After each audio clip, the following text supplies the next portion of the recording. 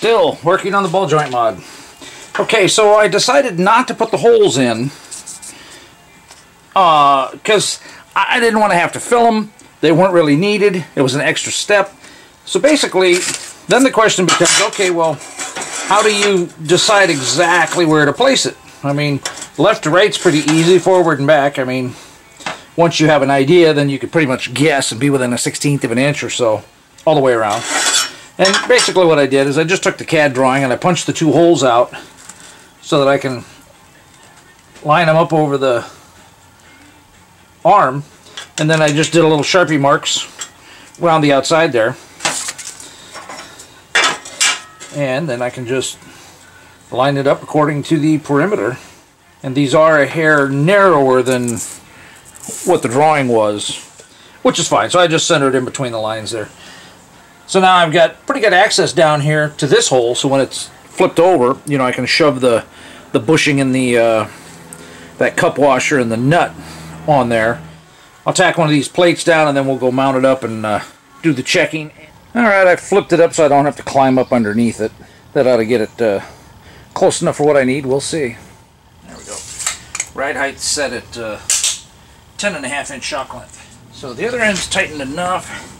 I have the tube in there set to, so this cranks down and, and gets the nylock on to the threads.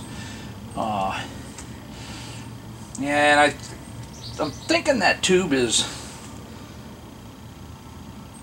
uh, I'm not sure it's factory, but on the factory stuff you you set it or whatever.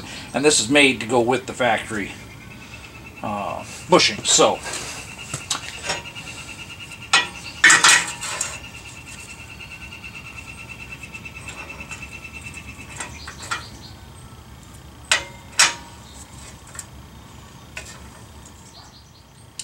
Well, I may need to cut that tab off.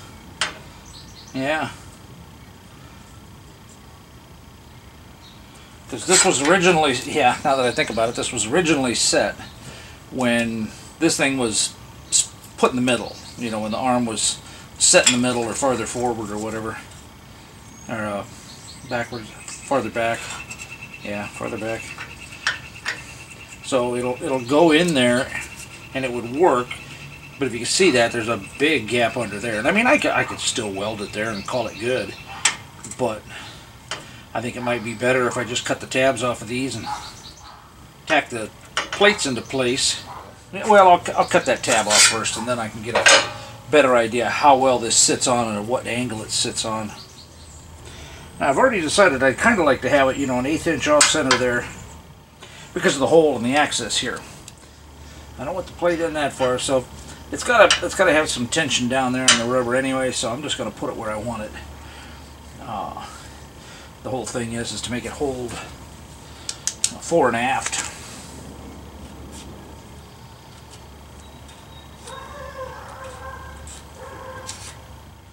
If I grind it down just a little bit, I, I think it'll sit on there pretty flat. A couple of tacks on there just to hold it in place.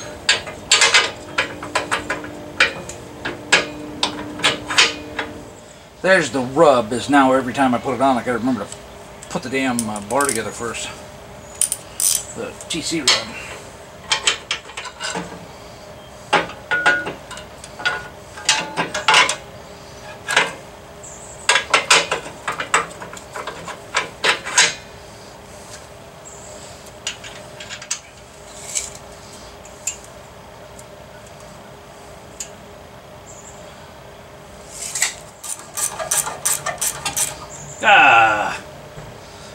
Damn tack weld. Now I guess it sucks as a tack weld. Alright, looks pretty straight that way.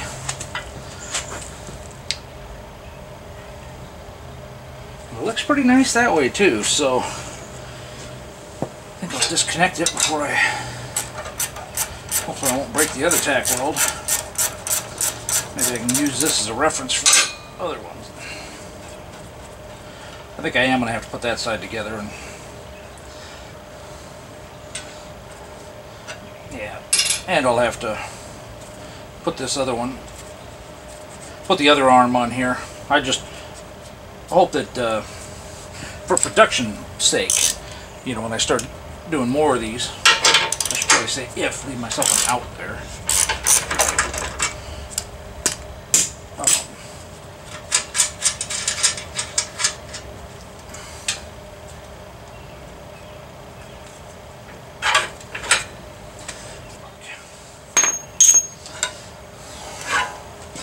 Should put one on the other side.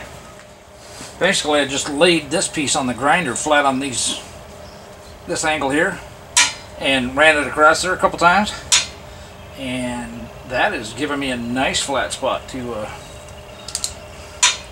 anchor to. And if you think about it, it needs to be somewhat pushed down on there because it's got to get pulled in. So I'm using the solid bushing, whereas there'll be a rubber one in there, uh, stock. So the rubber one will give a little bit and let this arm move up and down a little bit, not far enough to put that on, but uh, but for me, so when I get that in there and put it on, I've already got a bit of tension on here, okay? And that's because there's no flex where that uh, bushing is. Perpendicular in both planes. Uh, so I'm, I'm loving that. Uh, okay, this one's ready for final welding, I think. Let's, uh, loosen that up just a bit.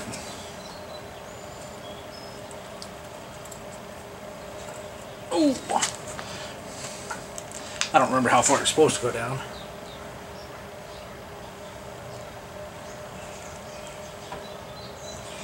Wow, that, that's really, really nice. I'm tickled pink with that. Alright, here's the before of the arm. I'll try to remember to shoot similar shots after. I enjoy MIG welding so much more. Not that I'm a pro at it by any means, but it's way, way easier. So much faster. I've already got three arms done in, uh, hasn't even been 15 minutes probably.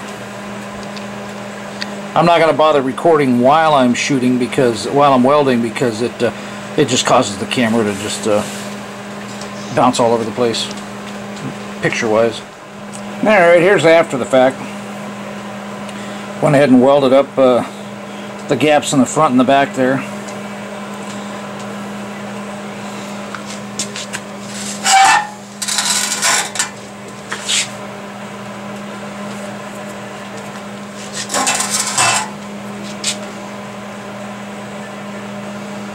I figure there's no reason to weld that hole and that'll actually provide some drainage on the backside so.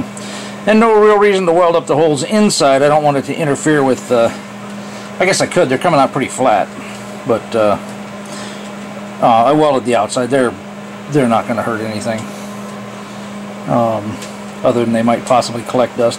I'll decide. You may see them filled in later but I did I did go ahead and fill these in. I'll pull the other arms back up and fill them in too so uh, that's the last arm, so a couple minutes to fill those other holes, and then I'll probably start on the upper arms.